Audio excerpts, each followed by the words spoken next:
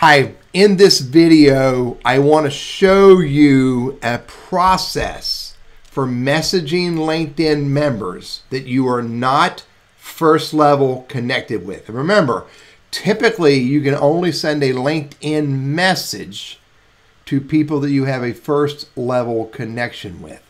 The only variation of that is if you're paying for premium licenses of LinkedIn, you have InMails However, I'm going to show you a way to send a message to a LinkedIn member that you are not a first level connection with.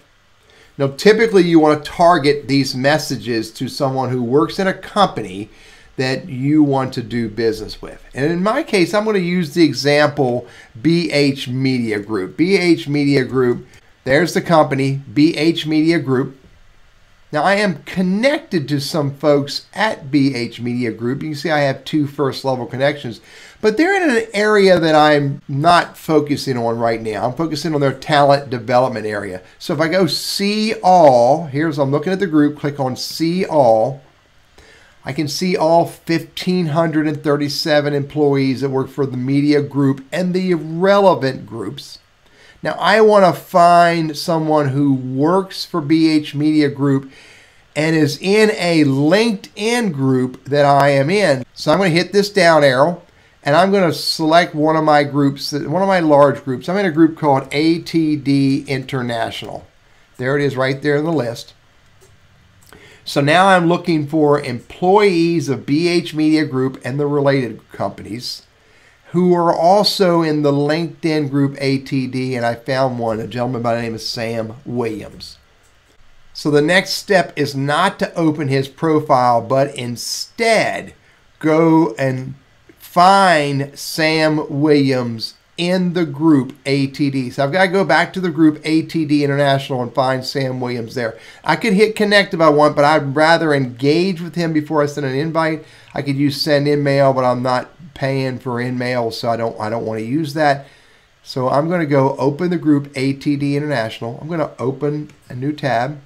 I'm going to go over here and type in the group ATD International. And there's the group ATD International. There are 5,600 members. I need to click on the number of members. Then I can come down here, it says find a member. I can type in Sam Williams, and there's his profile. Well, there's the link to his profile. Don't click on his profile. Let me repeat, do not click on his profile. What I want to do at this point is click on this icon here to send a message to a member. You can send up to 15 LinkedIn group messages to people that you are not first level connected with within LinkedIn groups. You have to do this from the LinkedIn group page. And I know I'm not first level with him because right here it is. It tells me I'm second level connected. Means we share connections, but we're not directly connected. So go back to the group and I can send a message right here. When the group message window appears, I can type my message in basically acknowledging that he and I are in the same group and that we have mutual connections and asking him for an opportunity to connect on LinkedIn and get into a conversation. And then I can send that message. And now all I have to do is wait for him to respond to this message before I move forward. So, what I just showed you is how to find an individual who works for a company who is in a group that I am in so that from within the group I can send that individual a message and engage with them in some way to be able to move the relationship and the conversation forward.